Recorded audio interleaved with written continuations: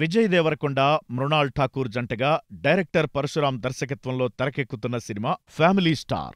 Dil Raju నిర్మాణంలో తెరకెక్కుతున్న ఈ సినిమా ఏప్రిల్ ఐదున రిలీజ్ కానుంది.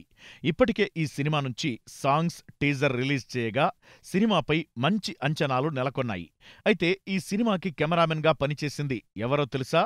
ఫ్యామిలీ స్టార్ సినిమాకు ఇండియాలోనే టాప్ మోస్ట్ సినిమాటోగ్రాఫర్స్లో ఒకరైన కేయు మోహనన్ పనిచేశారు.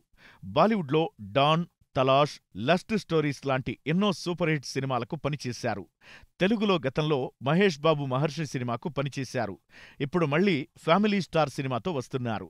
అయితే కేయు మోహనన్ కూతురు హీరోయిన్ మాళవికా మోహనన్ ఈ విషయం చాలా తక్కువ మందికి తెలుసు. తమిళ్ మలయాళం సినిమాల్లో హీరోయిన్గా తెలుగువారికి కూడా పరిచయమైన మాళవికా మోహనన్ త్వరలో ప్రభాస్ సరసన ది రాజాసాబ్ సినిమాతో రాబోతోంది. తాజాగా ఫ్యామిలీ స్టార్ సినిమా ప్రమోషన్స్లో భాగంగా కేయు మోహనన్ మాట్లాడుతూ ఫ్యామిలీ స్టార్ సినిమా ఒక మిడిల్ క్లాస్ కథ. హీరో తన ఫ్యామిలీ కోసం ఏం చేశాడు అనే ఒక మంచి మెసేజ్తో ఉంటుంది. ఈ సినిమా కోసం నిజంగా ఒక మిడిల్ క్లాస్ కనపడేలా సెట్స్ వేశాం.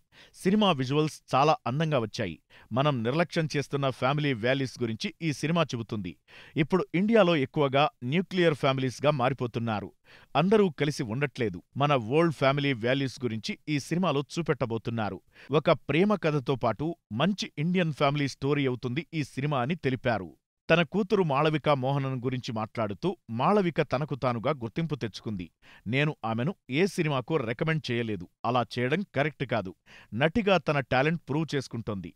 తన కథల విషయంలో కూడా నేను జోక్యం చేసుకోను. విక్రమ్ తంగలాన్ సినిమా మాళవికకు మంచి పేరు తీసుకొస్తుందని తెలిపారు.